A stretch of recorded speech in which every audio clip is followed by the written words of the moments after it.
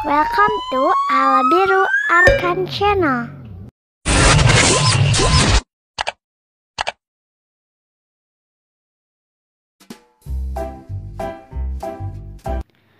Assalamualaikum.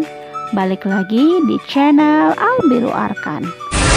Di video kali ini kita akan belajar tentang tema api. Di video sebelumnya kita telah belajar tentang air. Nah kali ini kita akan belajar tentang api Tonton terus videonya ya sampai habis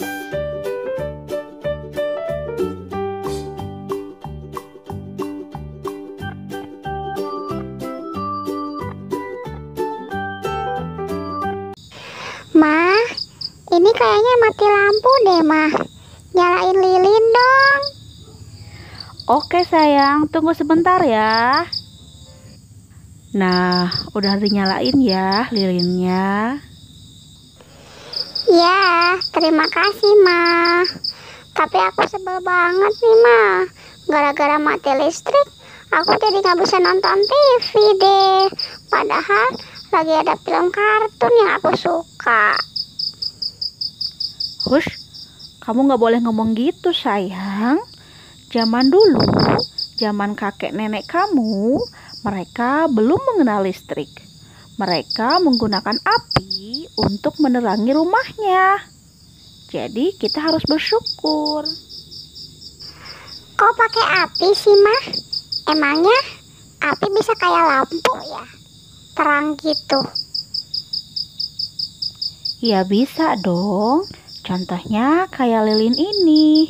Api lilin ini bisa menghasilkan cahaya meskipun tidak seterang lampu listrik.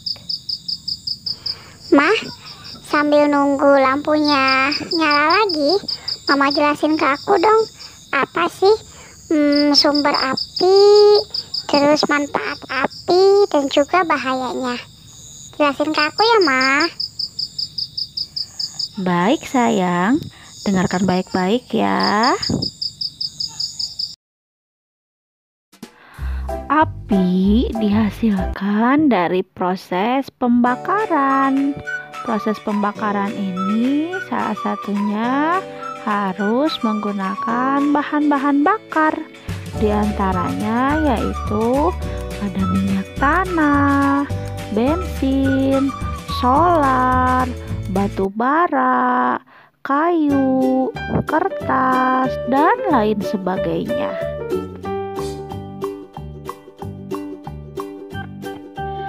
Tahukah kamu jika api juga bisa dihasilkan dari panas? Salah satunya adalah dari panas matahari.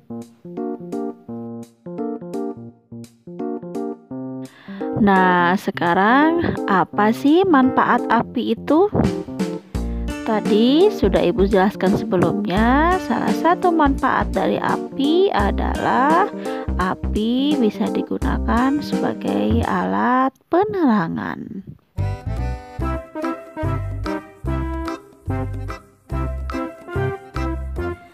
Selain itu, manfaat api untuk manusia adalah salah satunya manusia menggunakan api untuk memasak.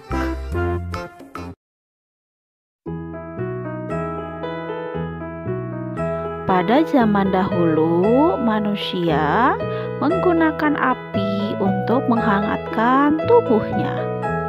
Begitupun di zaman sekarang, orang-orang yang tinggal di negara yang bercuaca dingin e, membuat perapian di dalam rumah agar bisa menghangatkan ruangan rumahnya.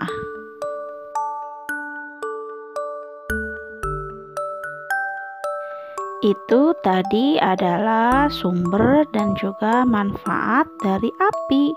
Sekarang e, ibu akan menjelaskan tentang bahaya api.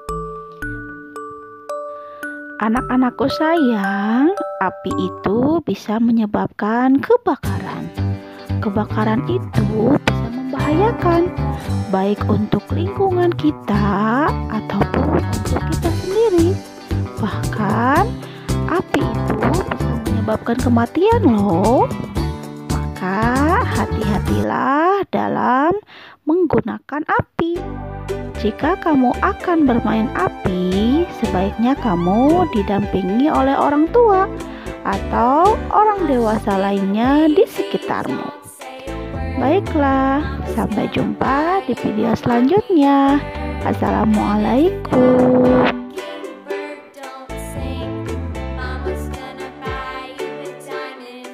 Yeay, Alhamdulillah.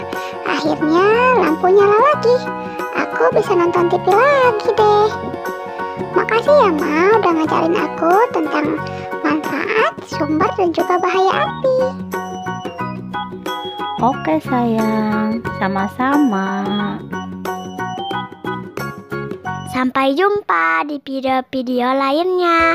Jangan lupa subscribe, like, share, dan komen. Terima kasih. Dadah.